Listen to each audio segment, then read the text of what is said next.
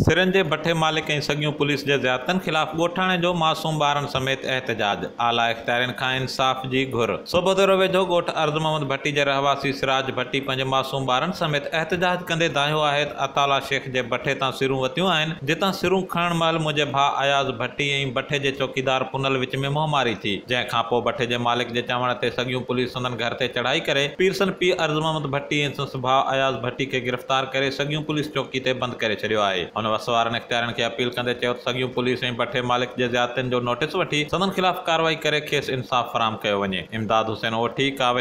आहे